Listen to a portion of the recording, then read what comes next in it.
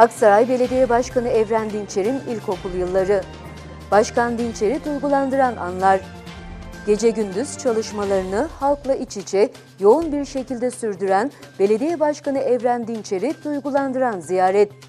Halk gününde duygusal anlar.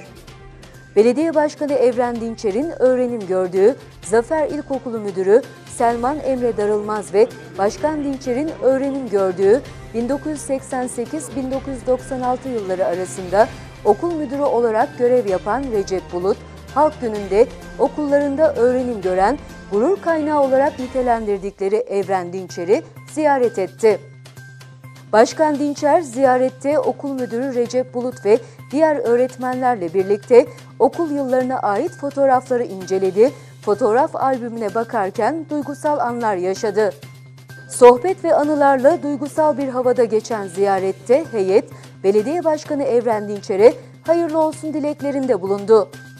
Bugünkü okul müdürü Selman Emre Darılmaz, Başkan Dinçer'e Zafer İlkokulu'nun 1960-1985 yıllarına ait taş bina fotoğrafını hediye etti.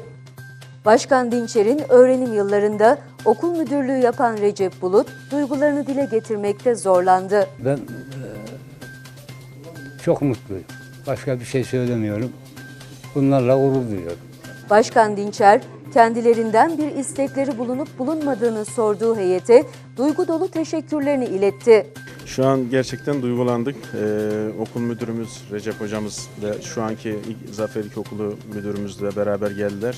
Teşekkür ediyoruz kendilerine. Geçmişe gittik, eskileri hatırladık okul zamanlarımızı. Ziyaret hatıra fotoğrafı çekimiyle son buldu.